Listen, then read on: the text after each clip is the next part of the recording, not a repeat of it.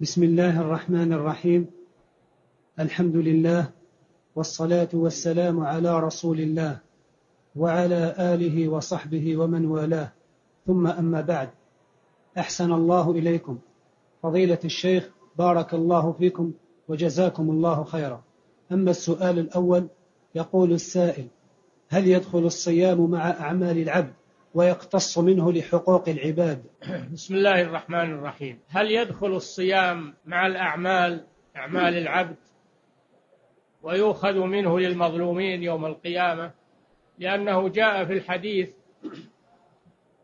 أن من مات وعليه مظالم للناس فإنه يقتص للمظلومين من حسناته ومن أعماله فإن فنيت حسناته وأعماله وبقي عليه مظالم فإنه يؤخذ من سيئات المظلومين فتطرح عليه يطرح في النار. فالقصاص يوم القيامة للمظلومين يكون من الأعمال الصالحة ومن الحسنات. فهل الصيام يدخل في هذا ويأخذه المظلومون يوم القيامة؟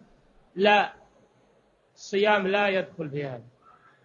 قال قال الله جل وعلا في الحديث القدسي كل عمل ابن آدم له الحسنة بعشر أمثالها إلى سبعمائة ضعف إلا الصيام.